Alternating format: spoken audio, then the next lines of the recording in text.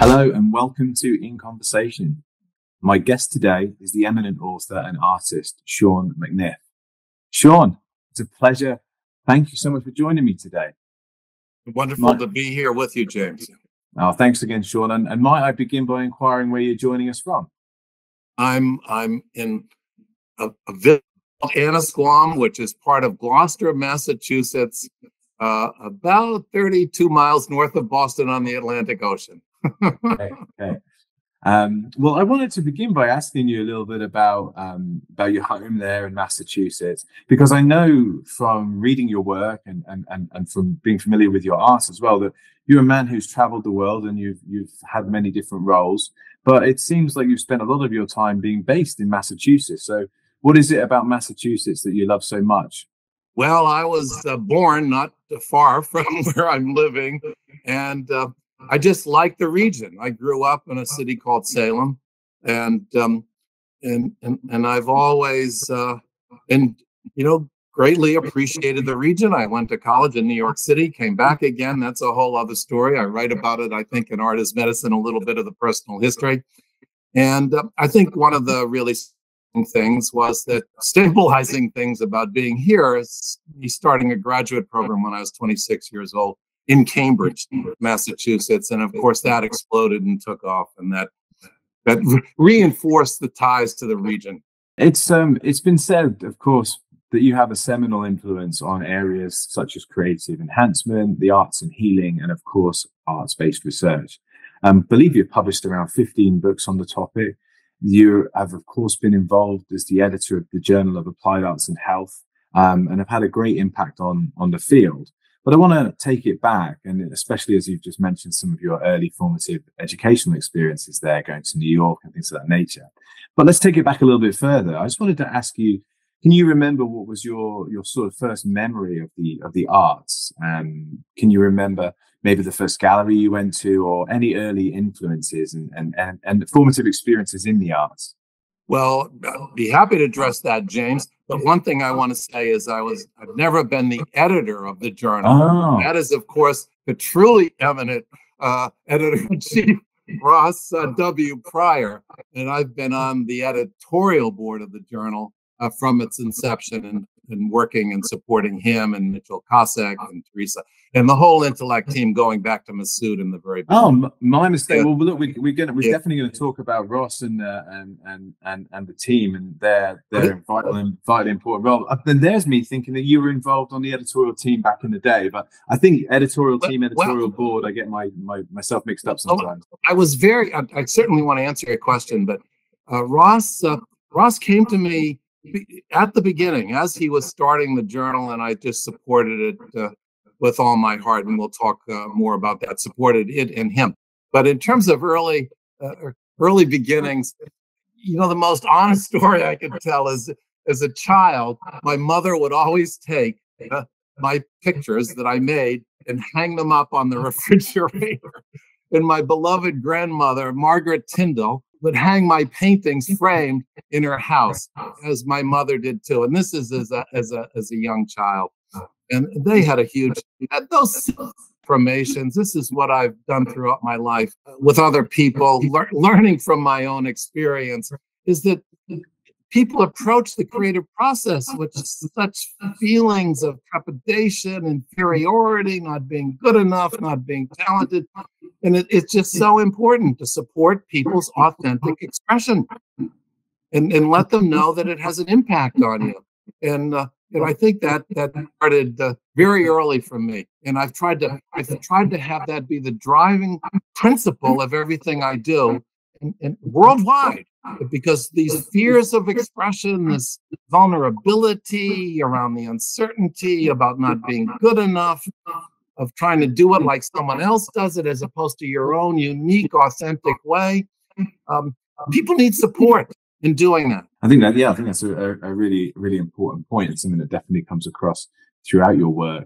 Um, and it sounds like your parents were uh, your first gallerists and uh, early supporters and do you think that was really important for your you know for the foundations of your love of the arts and for your own work well it had a lot to do but i i i believe that what what happened to me really is that as a, as, as a child i was I was typical boy interested in ethics and and other kinds of things. And it was my college education in New York City that uh, where um, the the university at that point uh, didn't have too much going in the visual arts, classic liberal arts college, the Art Students League of New York with the support of a professor there.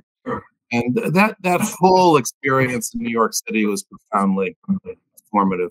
I mean, I, I, I had I had a remarkably influential college education, liberal arts education that has stayed with me to this day.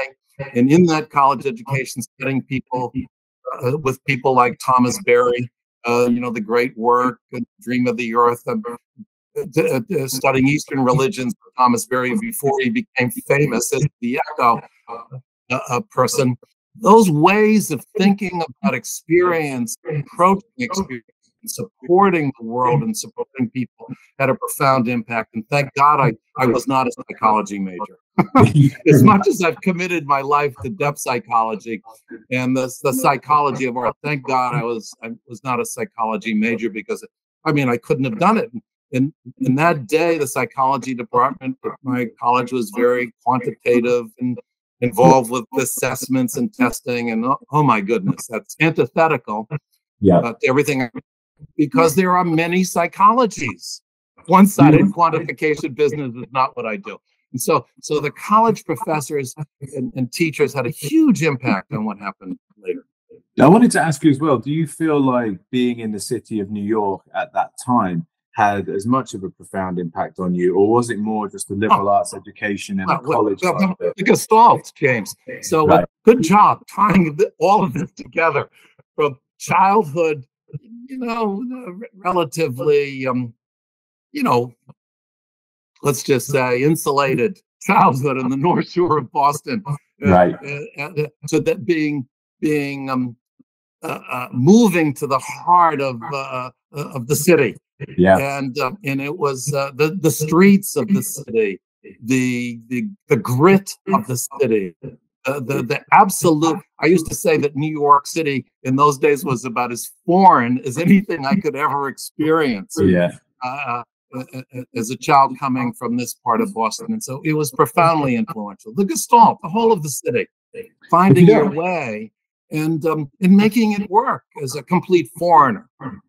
In so, my yeah. You, if you don't mind me asking, what what was the what were the years that you were living in New York? Uh, 1964 to 1968. So yeah, it must have it was, a, it was a tumultuous time. Bobby Kennedy yeah. was going to be our commencement speaker, and um, and he was killed days before the commencement. And um, and then in 1968, Martin Luther King was uh, just uh, the uh, in in April. It was uh, it was uh, it was a tumultuous time in, in American history and in world history. And uh, do, you, do you feel that that's something you've represented through your own art practice? Um, or was that not really a big interest of yours? What what what happened to me is that those years in New York, that education, uh, those um, those movements in the world, you know, made it very clear to me that my art is about service. It's not about me. It's not about the art. Uh, oh my, my, goodness, there's such problems with the art world in terms of trends, gimmicks. So my art, my art always about going back to Thomas Berry, the sacred dimensions of artistic right. experience. Right, right. They're indigenous to the human condition, worldwide, universal, that transcend cultures, that transcend identity, where art heals throughout history and art advances a communal experience and social experience. My, my art was always uh, committed to that, that social service. Let me take that a little bit further Impact on the world.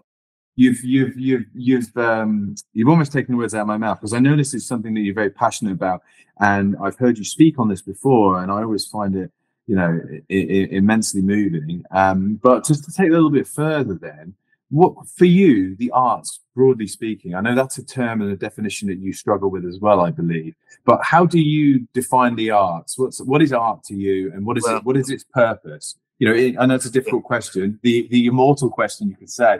But um, you know, in, you kind of already started to allude to it. So maybe take what you just said a little further. Like, what's the answer to you? Well, th- thank you, James, because um, it's important clarification. Because my position, the position of the Journal of Applied Arts and Health, Ross and the whole team, is that art, A R T, yeah. is inclusive of all forms of artistic expression. And a very important distinction. The art forms and, and the visual arts, as I've written recently in the journal, and my beloved visual arts and art therapy and all those other domains have appropriated uh, the the the, ter- the notion of art, which in, in other languages and other histories. Uh, I was just in Taiwan, and it was reinforced how the how the uh, how, how in Chinese civilization and languages, how the notion of art was always inclusive of all art forms. The same same with German Kunst and, and Kunstlerines and Kunstlers, you know, artists and, and, and, and art forms. And, and that is uh, the way I approach artistic expression is all inclusive. And it, it becomes very important when you're working with people because you don't departmentalize the expressions of the body that are fundamental, for example, to painting. And, and, and painting has a dramatic aspect. Uh, it has a movement basis. If you children painting who are so influential in my experience, they tell stories while they're painting in response to painting. It it, it has sound. It, it, every all the senses are, are, are integral to every form of artistic expression. Well, thank you very much. And again, I can feel the passion, and I always love to hear you speak about these topics. So it's great to have you on here again. Um, but like, um, there's a couple of things I want to just go a little bit deeper into that you are clearly, you know, one of the the minds that, that, that discusses this the, the most effectively, I think. And to begin with, I'd like to talk about this notion of arts and healing. And you know, what what are your kind of main beliefs around this topic? What what is arts and healing to you? And um, when did your own work start on this? And, and what are your beliefs about it? Well, uh, James, as as I've written in a number of places, I I uh, dropped into this world world of art and therapy, uh, serendipitous in uh, in in 1970 after having dropped out of art school. Uh, excuse me, not art school, law school, uh, and and and, and my the family work of the law, and um, and committing myself to art, and very much by coincidence, being hired as an art therapist at a large state mental hospital. And and I was hired because of that. My grandmother Tyndall that I mentioned, who had volunteered at that hospital uh, for, for 20 years, and, and and as the person, the personnel director said to me at that time, "If you're Margaret Tyndall's grandson, you must be okay." So anyway, I got hired as an art therapist with no background, but with this passion about how art can improve life for people living in these these in those days pretty difficult, challenging situations in yeah. in state asylums. Yeah, right. And so immediately, the first goal was was the human dignity uh, that can come from affirming, once again, affirming, as I was affirming, affirming people, a person's authentic and natural artistic expression. So that was always the the primary is is the recognition of the humanity of the people living in these very the dignity and, and the respect that came from from making that art and having it be witnessed by others and have others, have others express to the person making it what it means to them. That art was showed at the Addison Gallery of American Art. It was picked up by the Massachusetts Council for Arts and Humanities. It traveled around the Northeast and major art museums. The dean at the Lesley College Graduate School of Education, uh, then Lesley College, now Lesley University, saw the show and hired me to start an art therapy program. Oh, great! Because so that's he was the... moved by what they did. He right. was moved by their humanity and their artistic expression. And in terms of is that kind of that sounds so that's sort of like the genesis and the gestation period of not only your own work um, but then that sounds like that's the trajectory of this whole you know discipline in a sense right so is that kind of where these these these these things formed and became a, a true discipline was was at your time when you were when you were then hired is that the the lineage what happened is that that program that i started 26, 27, exactly 50 years ago. Exactly 50 years ago. Um, that the program exploded. People came for you know from throughout the world, hundreds and hundreds. There are so many, many thousands of graduates working for. So, so what we did say it had an impact. And, and, of course, what happened is we started. I started you know, through the, the experience uh, uh, there and with people worldwide, started to ask my consistently ask myself the question of how art heals. I've been asking that question from the f- first day in that mental hospital, as I yeah. said, March of 1970, when I was asked how what I was going to contribute in terms of others and so so on. But core principle that I've discovered in my experience primarily, this, this is the basis of the, of the emergence of art-based research, my own art making. I found that art heals. I think, I think troubled when when that, that, that process of taking the disturbance, taking the difficulty, taking the pain, in doing something that through artistic expression, transforming the pain into an affirmation of life that heals. That, and that's what I see happening uh, consistently uh, in the experience of others. Well, I know this has been your, you know, part of your life's work, and you've you've sort of posed the question I was going to ask uh, almost in that in that statement there. But how have you has your own thoughts about the healing effects and the healing benefits of art how has that changed over the years? Or do you still have the same i mean have you been evolving it learning or, or, or do you still have the same core thoughts and beliefs values or have things changed? As technology has changed and, and convergence has occurred? Do you feel that the evolution is, of arts and health or you know arts as a healing practice um, has, shifted or is it still similar to what you were working on back there in the in the 70s well th- thank you james because you know as heraclitus said nothing's certain but change Right. Things are changing all the time. And we focus a lot on that. We focus a lot on differences. We don't focus as much in our world today on what what stays, what persists, what what is indigenous, using that word, to the human experience right. everywhere and throughout history. So what I what I've what I've learned, interestingly enough, is that what I said, I'm glad you asked me about how I got started, said in that first interview at Danvers State Hospital has been absolutely consistently uh, affirmed. Right. And That's in terms of bringing dignity to the human community, bringing being being having a person seen and supported and witnesses for what they can give to the world. I remember one of the outsider artists that I've worked with said, when I had my first exhibition, people were actually paying to me.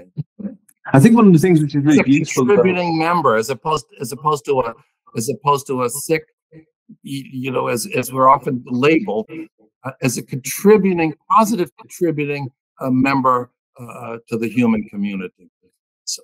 I think I think that's uh, one of the things which is beautiful about that is that it's actually relatively simple and has remained relatively simple. Yes, yes, you know, yes. providing space and dignity, and yeah. I, I, so that's that. That's a wonderful answer. Yeah, and, James, uh, it's simple because, and I've always said, the simpler, the deeper. Right. The simpler, the deeper. Yes. You said about uh, what what is the basis? Well, the the other basis that I learned from the very start, from the first days that it's been sustained is the power of working in community. always worked in community together with other people. I've described the community as a slipstream that carries us to places that we we can never do alone. Uh, and the community is so significant because most of our lives, communities can be harsh too, intimidating. Groups uh, uh, can can be sometimes painful. So when a community gets behind the artist and supports and affirms. I mean, that's a powerful assisting force. I've always worked in groups, always worked in community. And and once again, James, in, in terms of you asked me um, about how I've changed, which what changed, what's happened over the, these 50 plus years, studying this process, and I find that these forces these processes present throughout human history, and they're consistent. They're always there. Uh, I think that's an important tenet, uh, definitely, of your work that we need to to remember as well. But you you're asking all the questions that I'm, I'm that I was going to pose, so we're on the same wavelength from this in this interview. That's for sure. My question, next question, was to ask you um, that it seems from your work that community and collaboration are vital to not only your work but your beliefs, and and you've answered that one, I think. But I wanted to lead on then to you know we were talking about 50 years, and we're talking about community and collaboration. So I did want to go into, a, you know, to discuss briefly the Journal of Applied Arts and Health, which you've certainly had a key influence on. And I know that that for you is like a key work of collaboration and that there's a real community that's been built around that journal. So perhaps you could just tell us briefly a little bit about just what's the journal in a nutshell in terms of its focus. And then perhaps you could just showcase what Ross Prior and some of the colleagues there on the editorial team and board are, uh, you know, are doing and what they're doing with your legacy and taking that forward. Thank you again, James, for giving me the opportunity to affirm uh, how, how the Journal of Applied Arts and Health is right now, it is my base. You know, I've moved on, uh, you know, from, um, from uh, being a full-time academic and the journal the journal just resonates with all of my values. And and it, and it's it's service to society uh, most importantly uh, is having as you've described and i've heard in, in terms of uh, people that that are watching the evolution journal having a tremendous impact on the world. That's so that's that's what I've, that's what my goal has always been to, to bring art and service to the world. And, and I see this journal as being a primary move. I mean, first of all, when Ross founded this journal, he called it Applied Arts and Health. And, and what he's saying there is that we want to apply the artistic process to the to, to public health, to the health of the world. The journal has always uh, welcomed the universal access to art's healing as opposed to the very circumscribed uh, uh, dimensions that are happening throughout the world of professional associations, actually limiting access, often furthering exclusion rather than the inclusion that they say they strive for. Professions are very important. I've been very involved in the American Art Therapy Association as president but I think that what we need to be doing in the professional domains is lead, to lead the world in, in making artistic expression universally accessible to people everywhere, to welcoming artists into this community of practice and giving them support. Some some of us have studied this uh, for years and, and, we work in community and, and helping others uh, and supporting them and making their own contributions. The same goes for volunteers. The work is not necessarily circumscribed uh, around just professional practice. As I, as I say in my book, Art Heals, art heals inside and outside therapy. It, he, it heals everywhere. And I believe the Journal of Applied Arts and Health represents this purpose. It also minimizes these silos of the different different art forms, dance therapy, art therapy, music therapy, poetry therapy, that don't even talk to one another necessarily. Do you think that's partly about the professionalization of, of academia and of right.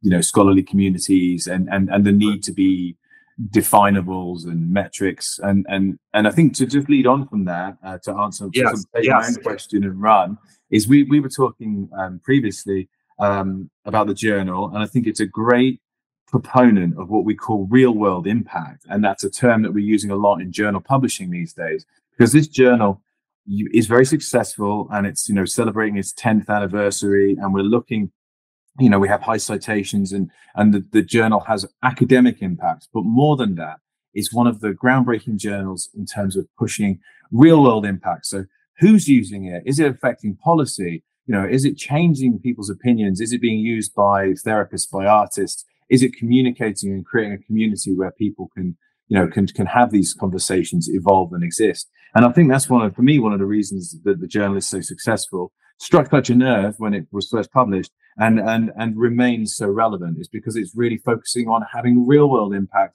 to a wide range of people from different communities around the arts, rather than being simply focused about on, on sort of data and citations and silos. And I think it really does break down some of those uh, academic boundaries and barriers, which you know are, are sort of inevitable, but but nevertheless can get in the way of genuine conversation. Uh, James, as uh, as Molly Bloom said, uh, in, in, Ulysses in a very different context. Yes, yes, yes. yes. I didn't think we were going yes, to yes, yes. You, you, you, just, uh, I think uh, you, you said it beautifully.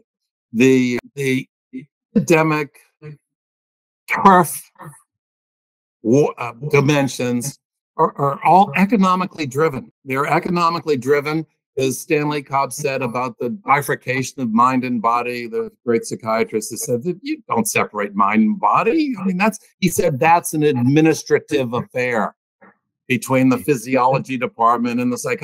You know, it's these are administrative affairs, as he said. They're economic, economic systems uh, that need to support themselves, and they're part of reality. And I accept that. Remember, I I ran one for many years. The, the business has to work and higher education has to work. But my core values in terms of impact are democratic, are yeah. truly inclusive, yeah. honestly inclusive. And that's what the Journal of Applied Arts and Health does. It is a it is an all-inclusive journal that, that does its best to transcend uh, the silos. Of course, all the silos are welcome. Yeah. Disciplines are important. It's more about building bridges, right? Well, it's it's it's it's disciplines. Take, take medicine, for example. Of course, disciplines and specializations, but we're part of something bigger. In in art, not science. I think that's an interesting distinction and one that a lot of people will possibly argue against. But I think that's just an important bit of food for thought. And we can just put a pin in that. But I think that that's a really important statement you've just made and one want to be anti-science in any way, and I'm writing about that right now. But art and science complement one another. Art, art is about opening to the un, unexpected. The, and of course, science has that dimension to it. But in, in art, we are not we are not trying to replicate.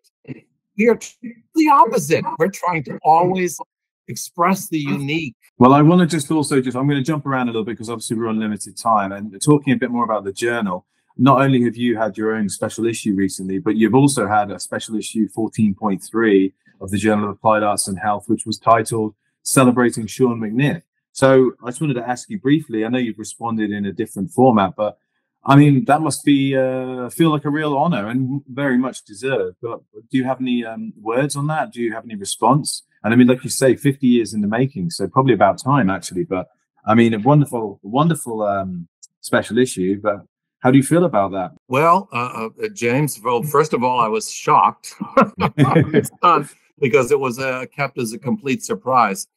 And, um, and, and as I've said, I, I, I, was stunned by the extent to which the, gr- the group of authors, the community of authors, community of creation, said it better than me.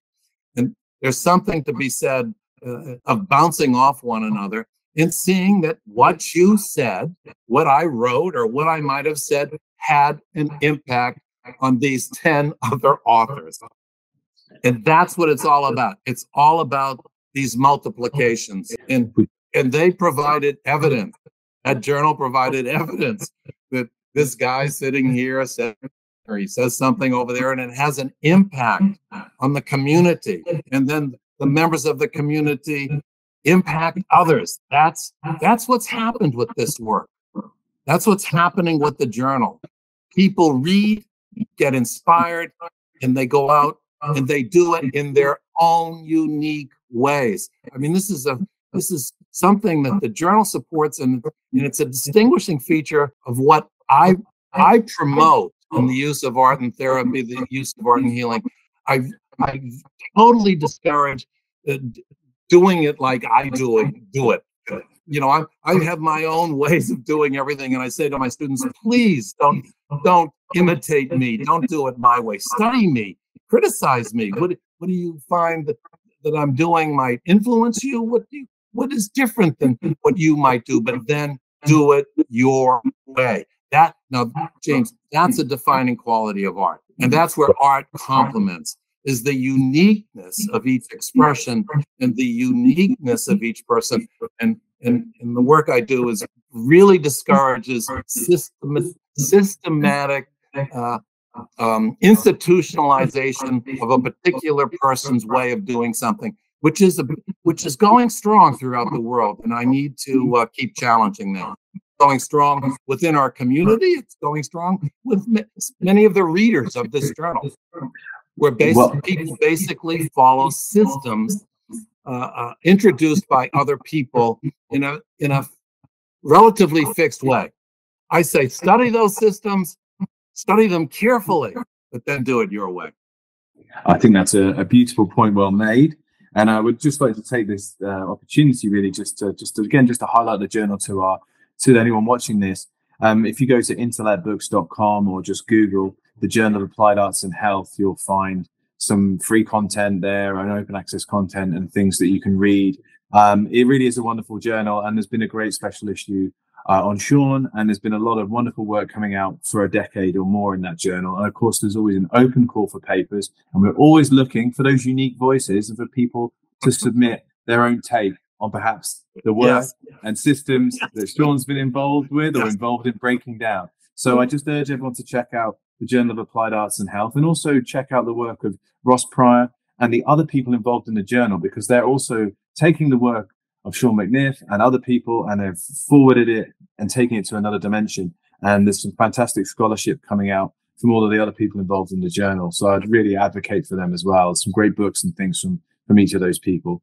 Um, so I would urge people to take a look at that, especially if they're interested in, you know, sort of maybe um, contesting their own beliefs around art or the arts. Well, I have another couple of topics I'd like to talk about today. And I wanted to talk about this notion that you're also kind of famous for, um, this notion of art as research, which of course is the title of a seminal book published with Intellect.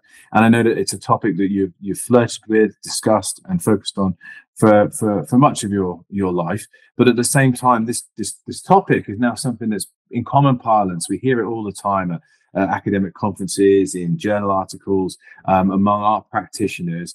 Um, and beyond the academy and all these other things. But but what is for the layman? What is art as research? How would you define it? What does it mean to you? Well, well James, I would say um, very simply that we describe art as research, aka also known as art-based research, is the use of artistic expression as a primary mode of inquiry by the person doing the research, either alone or with others. that is uh, that is a definition uh, that has taken shape over the years because I've been asked this question very often uh, uh, uh, uh, since the publication of art-based research published in London, actually. in 1998, which which which just stimulated a whole new new career dimension uh, for me in terms of the response to that book. The book was originally intended for the art therapy community because, because of what you um, said about the quantitative impact factors. I was going, I was noticing in the journals, the various journals that I was being cited uh, around what I had written uh, the, through the late 70s, the 80s, around uh, research in terms of freedom and inquiry and the in artistic psychology, in a more art-based approach to everything. And I said, well, you know, I think I should write a book about this. And to my shock, the book was never really adopted so much by the art therapy uh, graduate programs because they're so they're so let's just say they're on another plane. But it appealed to other professions. You, you know, yeah. comprehensive disciplines beyond therapy. In the in the in that whole realm of art as research has has has taken on. Now what what i think i what that book did is it's put it put its finger on something that had been there throughout yeah. time. Gino you neil said you know authors were psychology psychology existed also anything i make as a researcher there's a sense within the art community, there's an intelligence at work, and that art doesn't have to justify itself through something other than itself. That's the fundamental premise of art-based research. In the it, it's a complement to science. It's not anti-science, but it brings something different.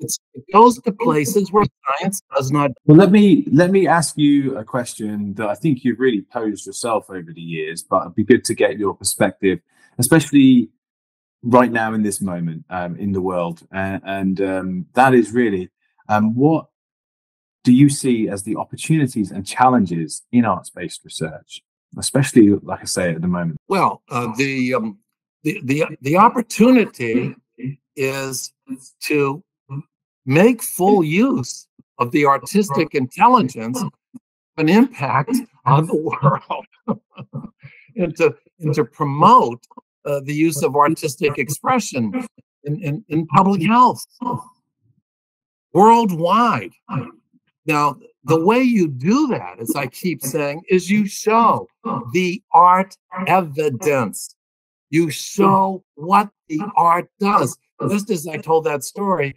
about the dean of the graduate school seeing the exhibit we put together. It was at Harvard at that time, Lester. He went and saw it, and he saw the evidence. He hmm. saw what people could do, and it had an impact on him, a profound impact on him.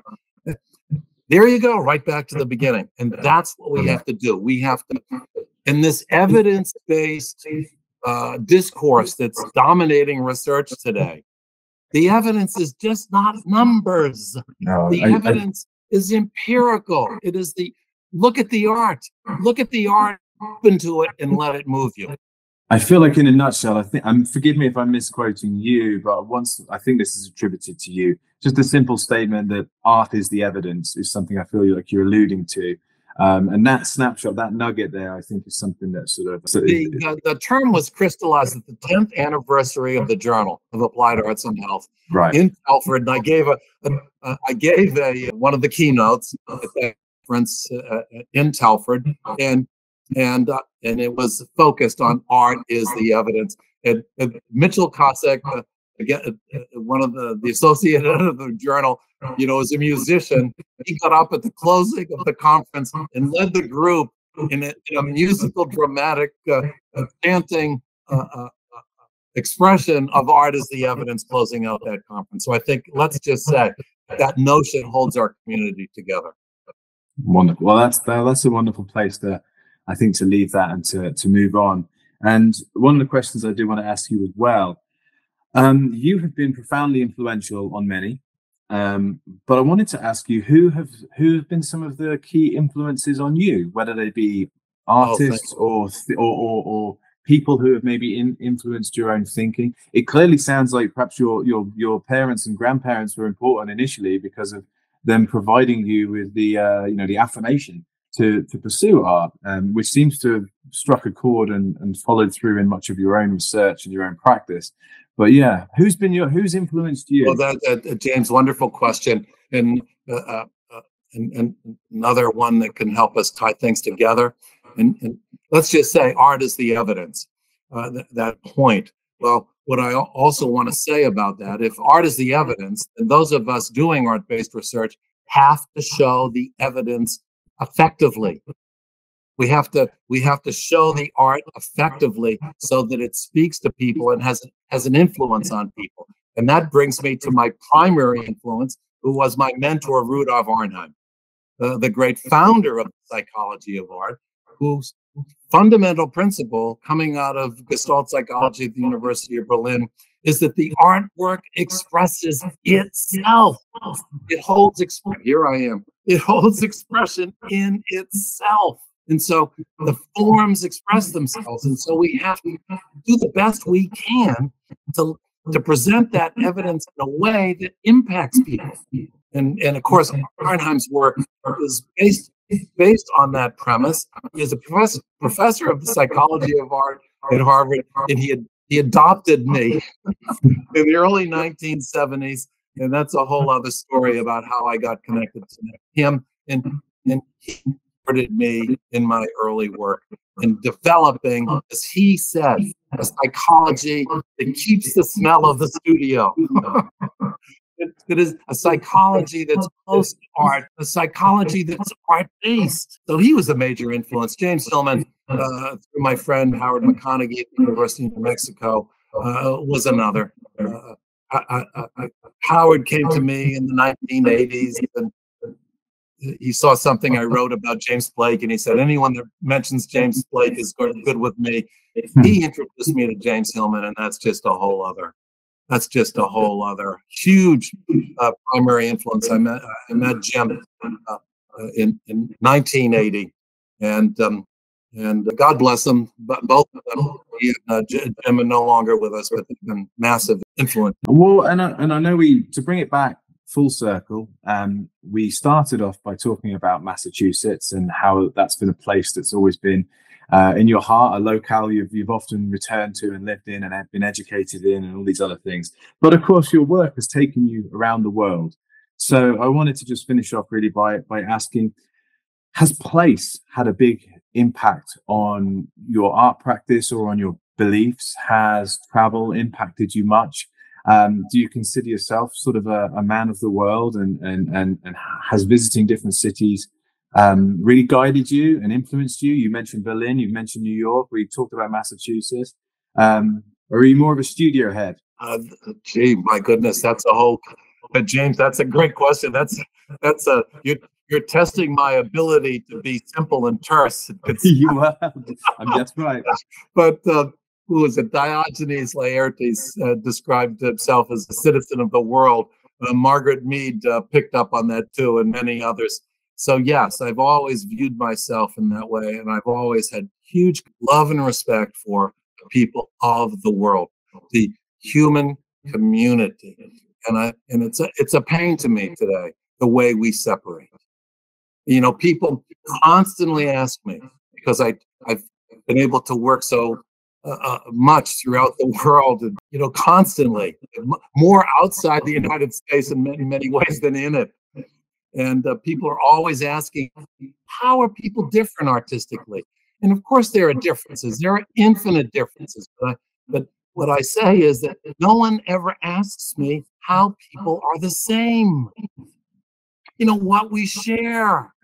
So that's been my major life focus, infinite difference in keeping with art, not categorical group, because we, we take away a person's uniqueness when we put people in buckets. So, shared humanity with infinite differences. And in response to your other question, um, y- yes, I'm constantly influenced and inspired by those differences in place. They, they, they rework my own inner stuckness and chemistry and they open me to things beyond the habitual ways. And you see that in my books. You see it in Art as Medicine, the art I made when teaching at Vienna, and art made in response to the Iraq War. And of course, I have this long history, 50 times uh, uh, uh, traveling to Israel and start helping to start a graduate program there. So yes, huge influence from the people of the world and what those influences, those thousands of people that I've worked with throughout the world have impacted on me is what we share. Well, I think that's a pertinent and impactful place to end this interview today. I just want to say thank you so much for joining me on In Conversation. It's been an absolute pleasure and uh, really enjoyed talking with you. Especially, it's always great to have uh, you're so emphatic with your answers, and it's always great to have that energy. So I really do appreciate your time. And I just wanted to say to our audience, if anyone wants to find out more about artist research or the arts and health, Shaun's work, Shaun's website is a great place to start. So do go- Google Shaun McNiff. Um, and then maybe find your way over to the Intellect website as well. Check out intellectbooks.com and you'll find more contributions from Shaun. And of course, you'll find the Journal of Applied Arts and Health um, which is definitely taking your legacy and moving it forward. And of course, check out people like Ross Prior and others who are working very much at the forefront of the coalface of, uh, of, of, of this discipline and moving this world forward. So, Shaun, thank you so much. Do you have any final final comments or anything you'd like to say before we uh, draw this to a close? James, this has been delightful talking with you. You've been inspirational in your questions. And yes, I do always have to work on curbing my enthusiasm. as, the great Larry David uh, uh, would say. But uh, uh, uh, thank you, thank you to thank you to you, James, and all of the intellect community the editors, Ross, Mitchell, Teresa, Bethan, who supports the journal and the Intellect team. And thank you to our Intellect community, going back to Masoud, who, who first supported our work. And, um, and I just am just proud to be associated with your with what you are all doing.